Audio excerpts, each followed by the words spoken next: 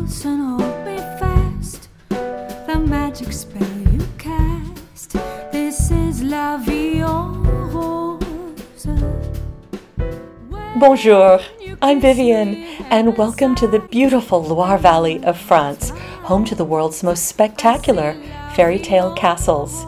It is also the location of my home, a small neo Renaissance chateau, which I share with my husband Simon, daughter Isabella, and our delightful pets. However, this is not our first chateau. For 17 years, we lovingly restored and adored a much larger castle until we decided to downsize. Now we're doing it all again, just on a smaller scale. So join us for some chateau fun, chateau life, chateau renovations, chateau travel, chateau food, and chateau love. Welcome back, everyone.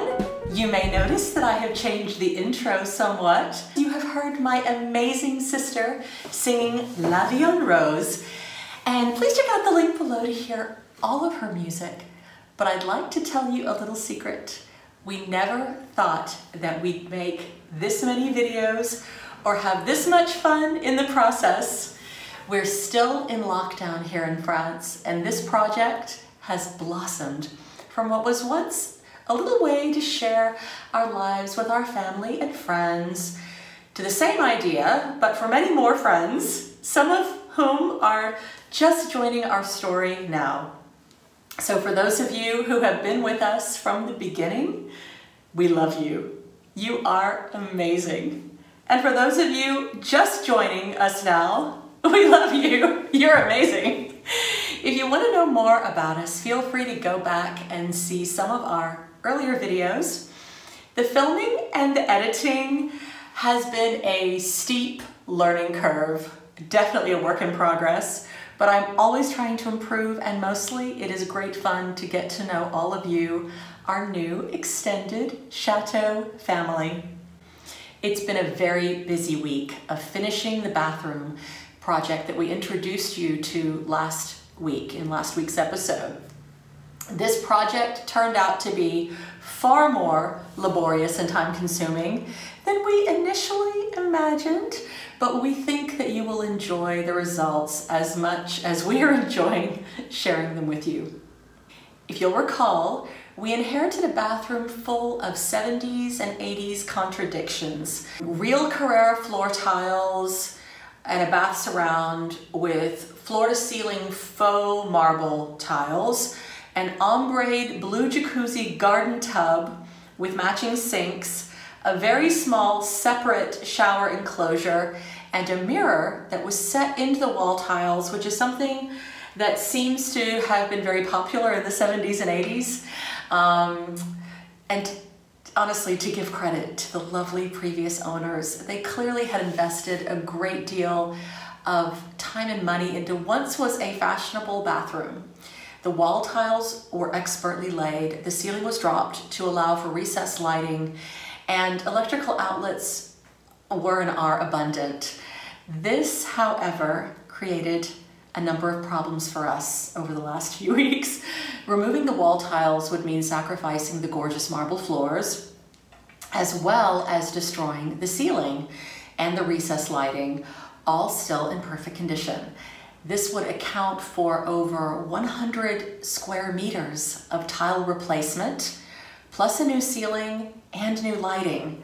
Also, after many consultations with our plumber, it became apparent that the location of the shower enclosure, the very small shower enclosure I showed you last week, was also the only possible place to put a toilet due to the elaborate pipe work needed to create the evacuation systems and connect them to the other bathrooms. And we're adding these other bathrooms on the same floor and the floor above. So a lot of pipe work. The very first thing we did was to remove the blue bathtub, of course, the sinks in the vanity unit, and the shower enclosure, which left us with an awful mess.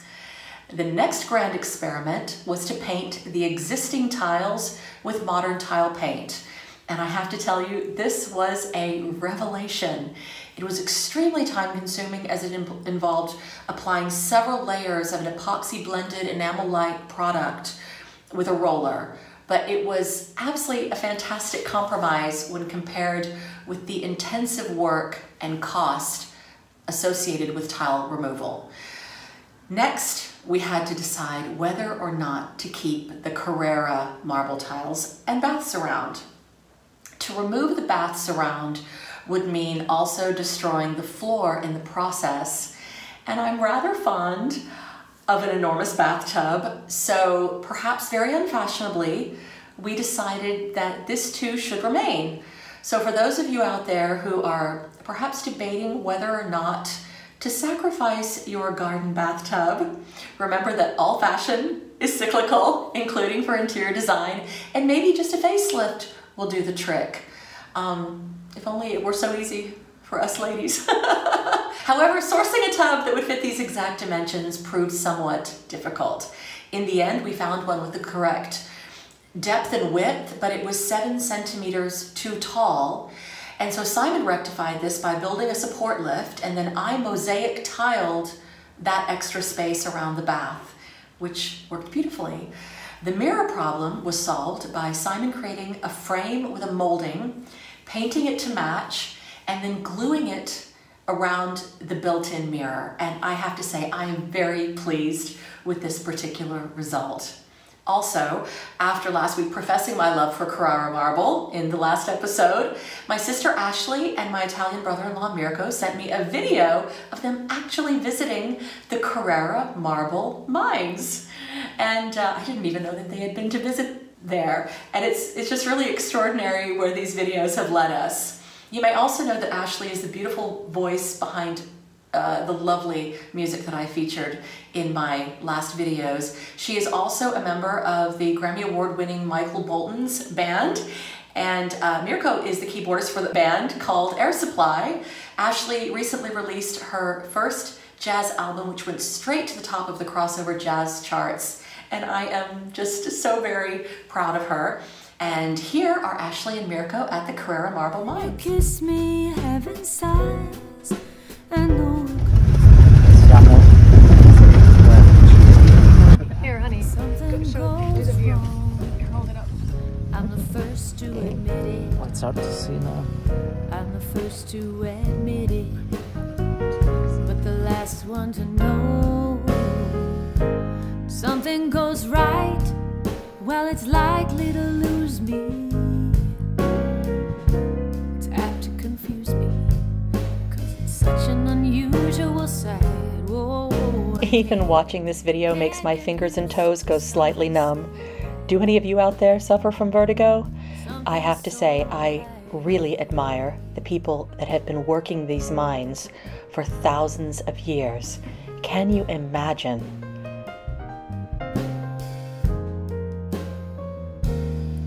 Got a wall in China. It's a thousand miles long.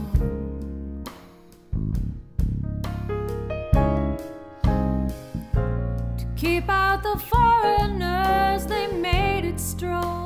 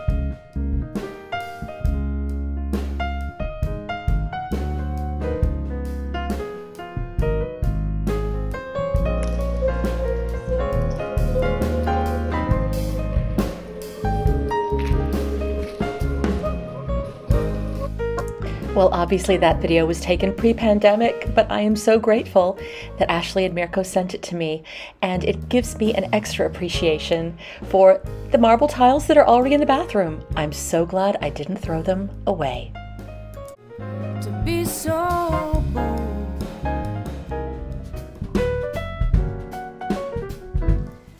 The next challenge was to source chateau appropriate fixtures and fittings. Bathrooms in historic houses are always problematic because bathrooms did not properly exist as single rooms until the Industrial Revolution made water heating systems uh, uh, mainstream. Rooms dedicated to bathing do date back to Greek and Roman times, which is why it's always uh, amusing to incorporate neoclassical themes into bathroom design. And it's something that you're going to see I've done a little bit of myself. But during the Dark Ages, the Middle Ages, and the Renaissance, there were often very differing opinions about bathing and hygiene and cleanliness and the purity of water. And even though the first flushing toilet was invented in 1596, it didn't become widespread until 1851. And it was only by the end of the 19th century, actually around the same time the chateau was built, that dedicated rooms for bathing became commonplace. And then often only one or two for an entire household. As we mentioned last week, when we bought this chateau, in this house there was only one main bathroom and one separate water closet housing the lavatory or, or toilet uh, on each floor. This is quite commonplace in old French properties, so this didn't really faze us much given our history of renovating old properties and we've done we've done a lot of that in a number of old houses but what should have been a warning sign to us was the fact that the previous owners had not added more bathrooms after all these are the same people that built an elaborate indoor pool and spa featuring several showers and loos in those areas so why so few in in the, the house proper? Well we soon discovered the pipe work. Oh my. Running evacuation pipes would involve removing flooring, drilling through ceilings with moldings and cornices, digging up the garden for, for long, long runs of additional pipes, and the extraordinary dust associated with this kind of mess. And yet, we were undeterred or crazy. Given the time period that bathroom fixtures became mainstream, the best option for purchasing bathroom fixtures seemed to be reproductions of the Victorian and Edwardian periods, and Great Britain still produces excellent examples of these period reproduction items, but sadly they are harder to find and to source here in France. Hence, we had many shipments from England, and thankfully I ordered everything uh, all at once for all of the bathrooms as now there would be very high customs tariffs to pay, unfortunately, since Brexit. But it also means that we still have several bathtubs, toilets, and sinks lying around in waiting, which is a little disturbing. A high-level cistern toilet is what we chose for this bathroom, but we were left with a giant hole where the shower once lived. Plus, we needed to allow for sloping pipe evacuation.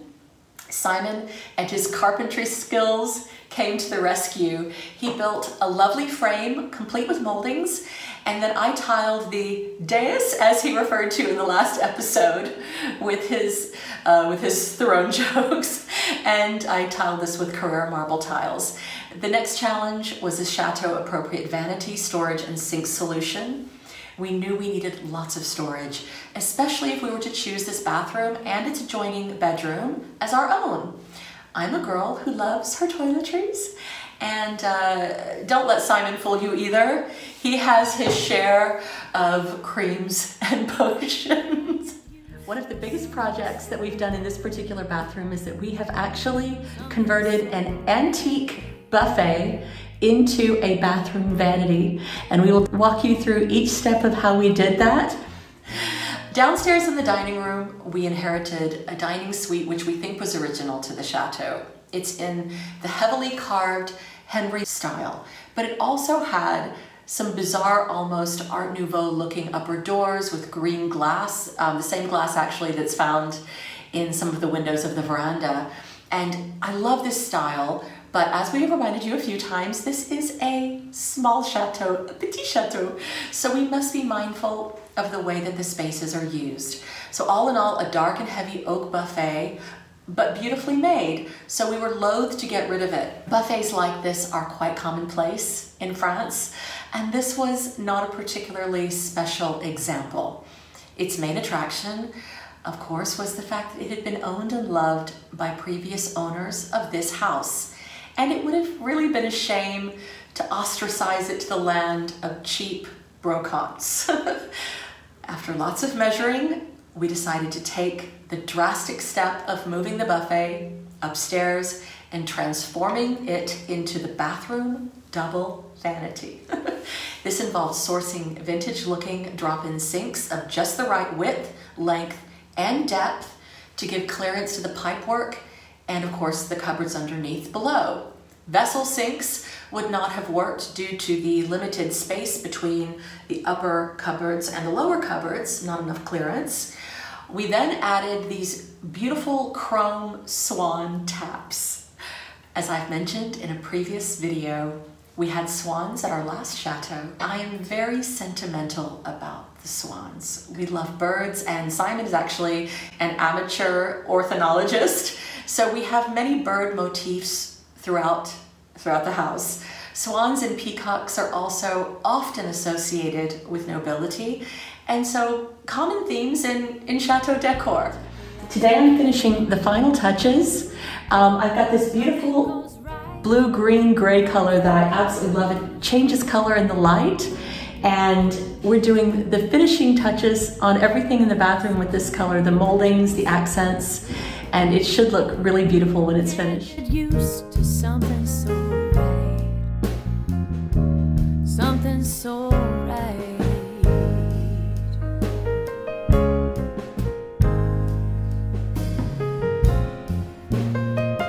And so now I'm going to delicately wade in on the debate about painting wood furniture. I know that there are going to be a lot of you out there who are going to say, how could you paint the buffet?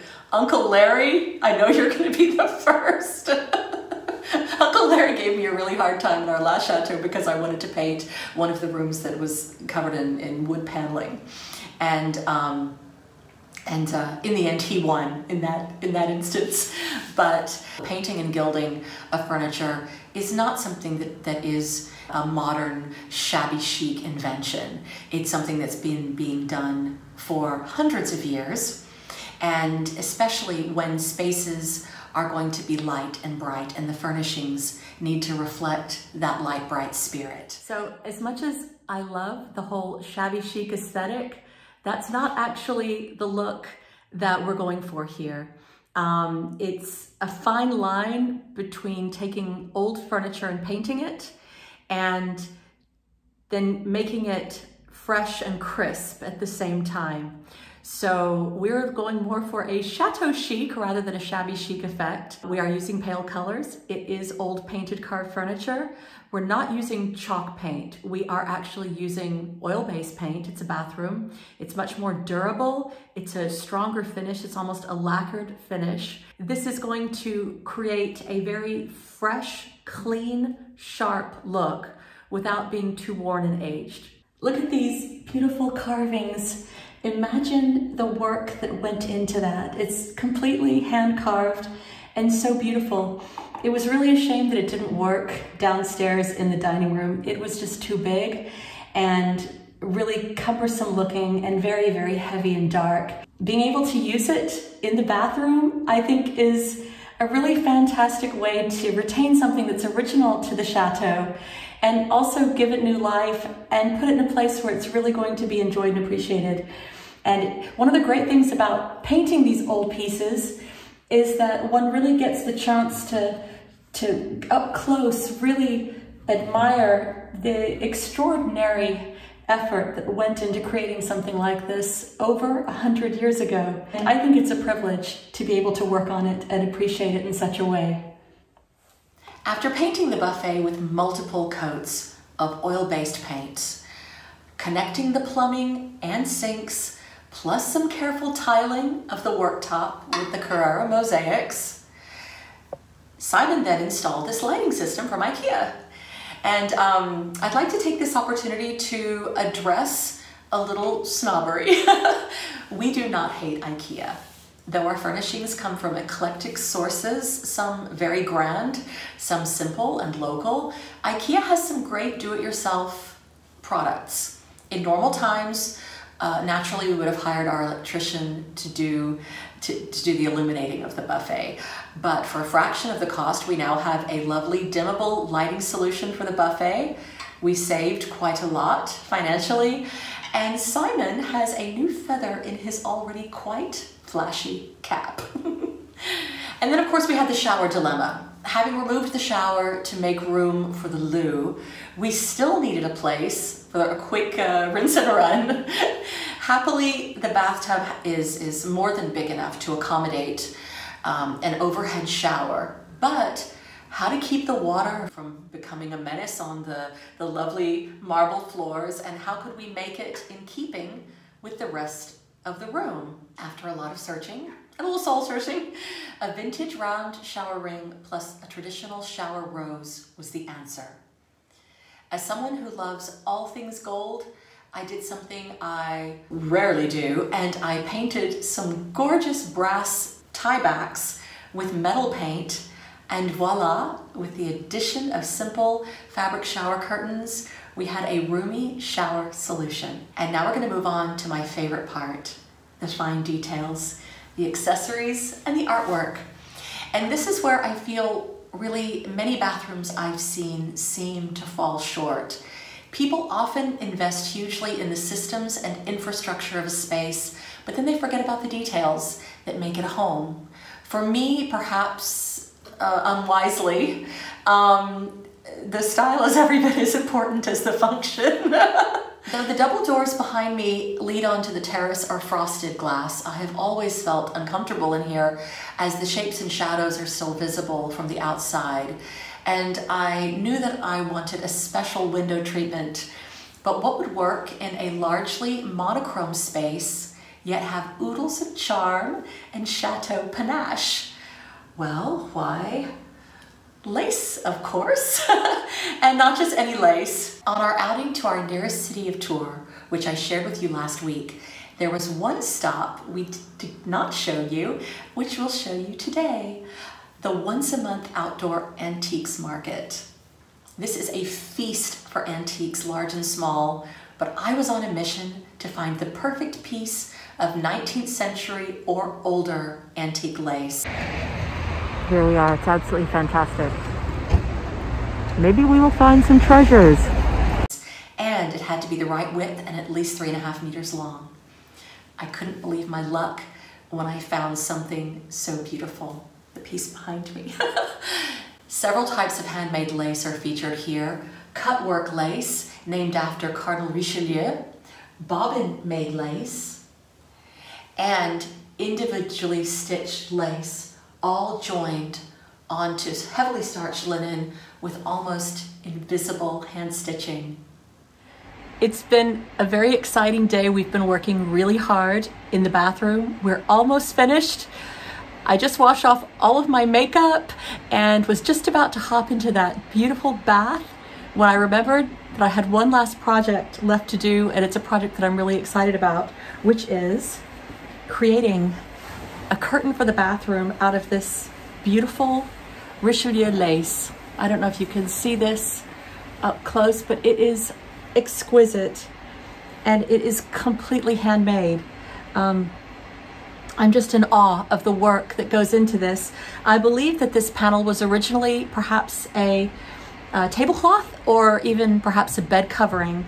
But for me, it seems really a shame to waste it and potentially ruin it using it for one of those things. And so we're going to make a beautiful curtain out of it and it's going to be gorgeous. Every single centimeter of this lace represents hours of hand tying and weaving and cutting,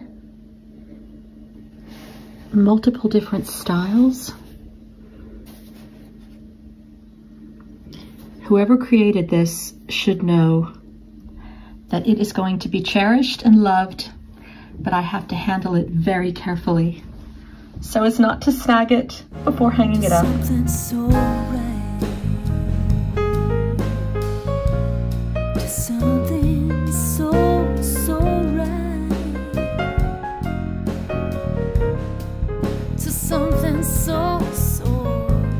Can you see? You've got your glasses, your reading glasses on. That's all right. I can do this, you see. Okay. I can tilt my head and then I've got Oh, I can't wait to see it double up. vision. Okay. See, that's... Let's see how...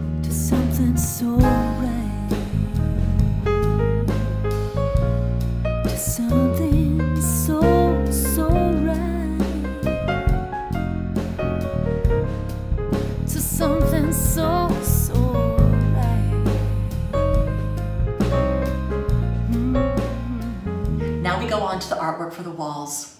I did not want something to compete with the soothing color scheme, so I decided to make wall art out of the lace. and here's what I did.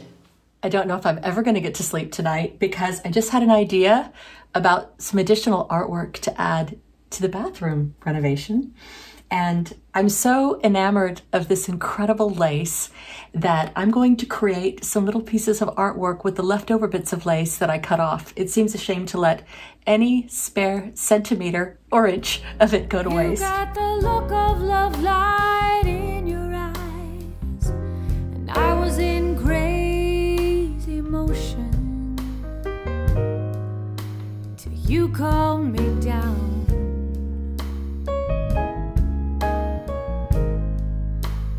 Took a little time, but you calmed me down.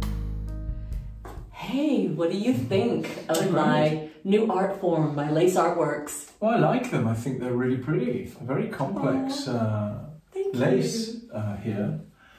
Yeah, but aren't they a little bit uh, feminine?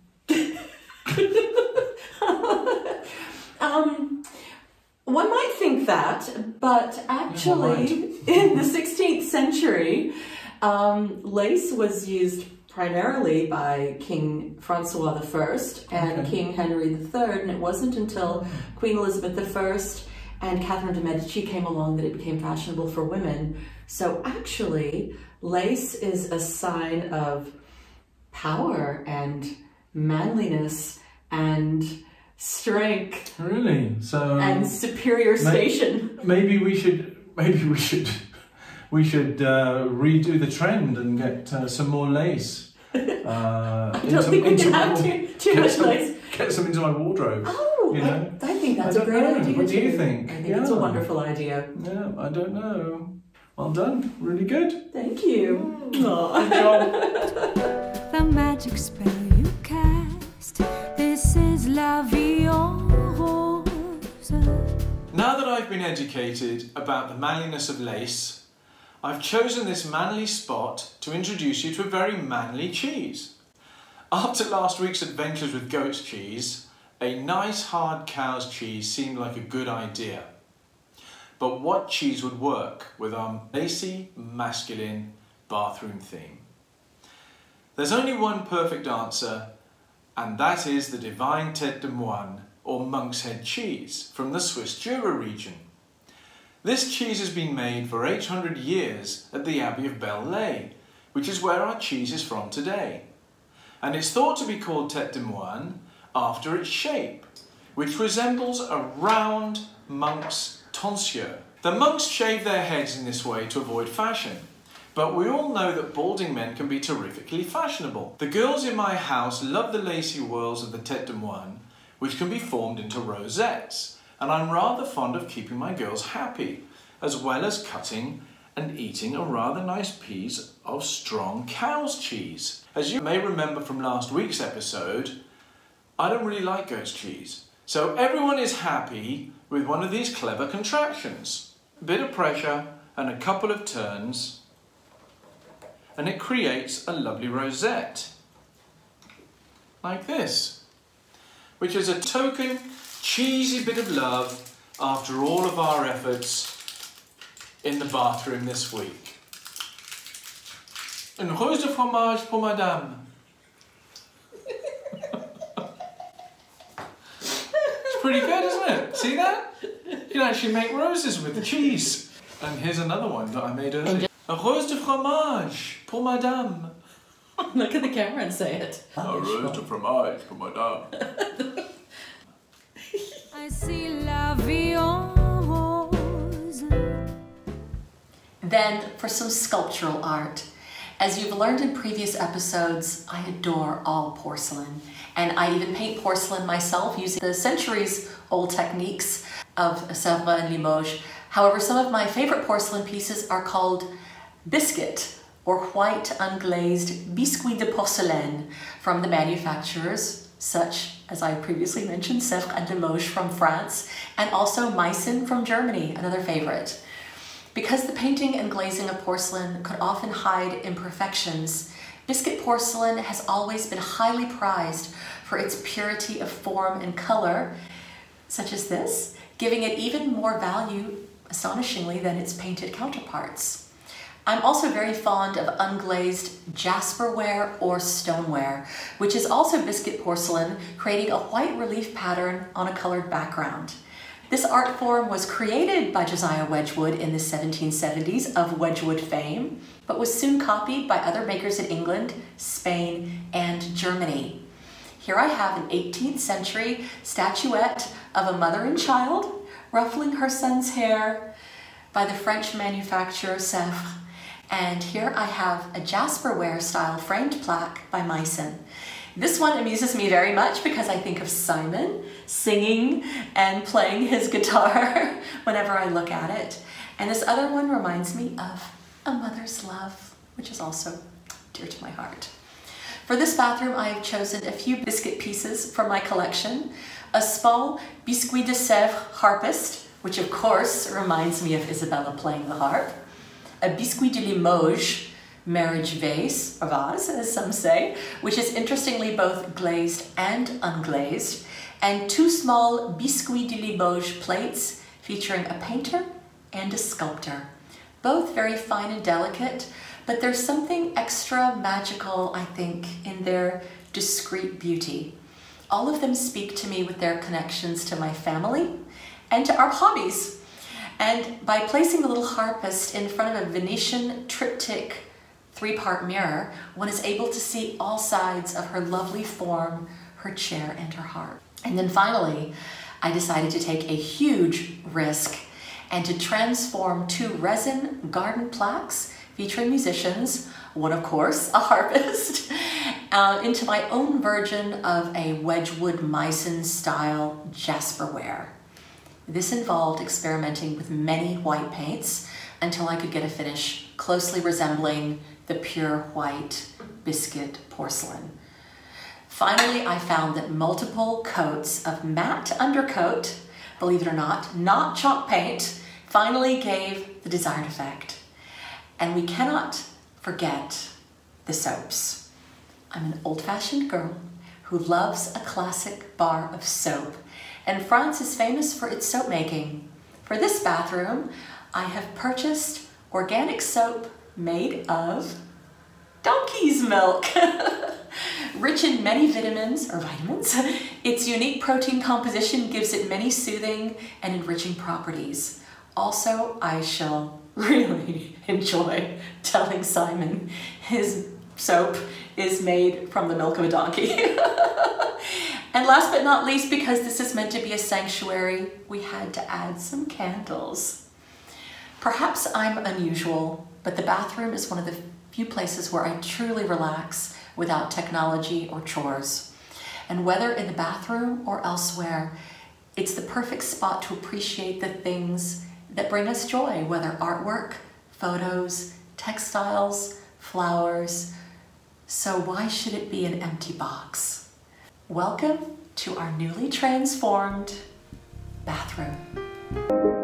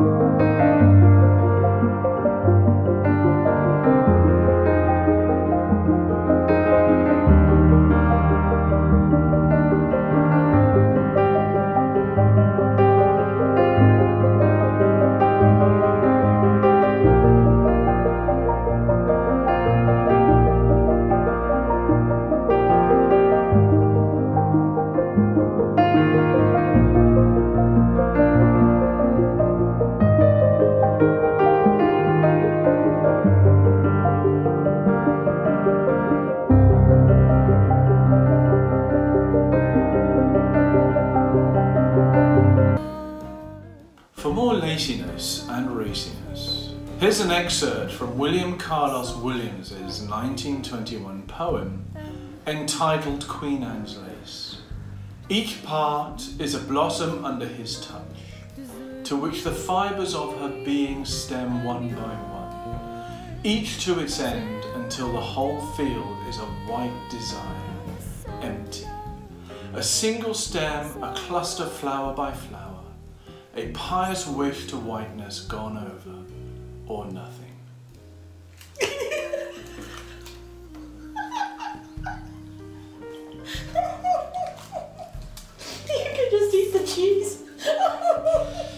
Thought I'd do the rose bit first. I Sure, maybe it should go in my ear. How's that look? Yes, it's so good, so good. Your hair is gonna smell like cheese. I want to bite of that cheese. What about an That's a really pretty flower. I want to find that cheese. When you kiss me, heaven sighs, and though I close my eyes, I see vie. When you press me to your heart, I'm in a world apart.